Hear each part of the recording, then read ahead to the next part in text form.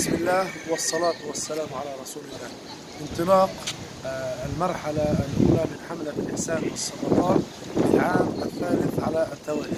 فإن شاء الله يا إخوان إن شاء الله بلشنا الصبح مع طلاب المدارس الابتدائية. وإن شاء الله الحصالة رح نضلها حتى يوم الجمعة.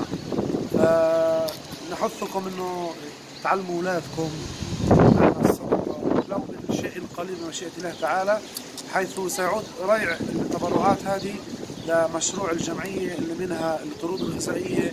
إحنا بنحكي على 120 يتيم بس اللي مسجلين بجمعية يافا للإغاثة الإنسانية. إحنا بنحكي على ترميم البيوت بنحكي على كثير أمور منها فإن شاء الله أول مرحلة إحنا هلا مبلشين المدارس المرحلة الثانية إن شاء الله راح تكون أطرق الباب. عندنا إن شاء الله لعند يوم الجمعة يعني كل يوم راح نتوجه لحي. وطبعا آخر مرحلة راح تكون إن شاء الله محطة في دوار حج كحيل نحثكم يا إخوان على التصدق لهذه الحملة المباركة حملة الإحسان والصدقات. وبارك الله